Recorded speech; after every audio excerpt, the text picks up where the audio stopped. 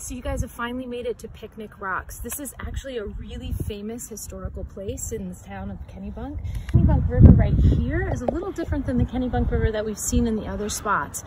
Now you're starting to get brackish water. Brackish water means that it's part salt and part fresh. So down this way is where we started at the Kennebunk Pond.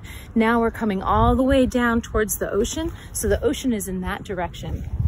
This part of the river is known for all of its shipyards.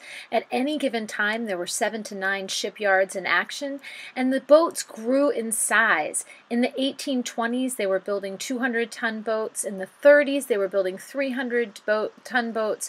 In the 40s, 400 ton boats, and so on, until eventually they had to reach the end of the river and they were building boats that were up over 1,200 tons.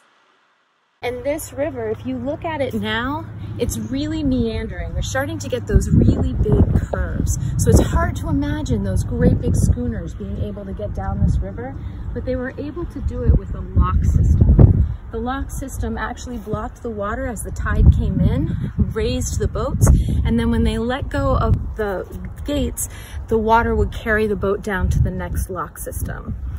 So back at Durrell's Bridge, that's where we had the most of our shipyards, and that's why the ship's captain's houses are all on Summer Street.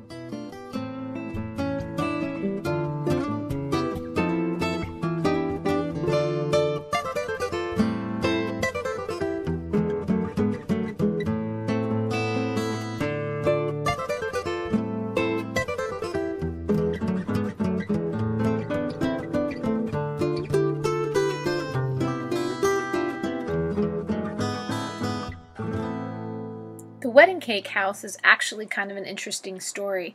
Apparently, it was a ship captain who was out at sea and kept sending his architect different pictures of various houses that he saw on his travels, and the architect tried to put all of those pictures into one house, which is why you end up with a house looking quite as unique as this one. As you can see, you can start to see on the edges of the river it's starting to erode away. You can see trees falling in. This is because this is an active part of the river where the tide comes in and goes out. Remember how we looked at all the plants at Kennebunk Pond and you saw freshwater grasses. Now, over across the bank, you're gonna see seaweed. So that should give you a good clue that a lot of this water is salty. Rocks was also this site.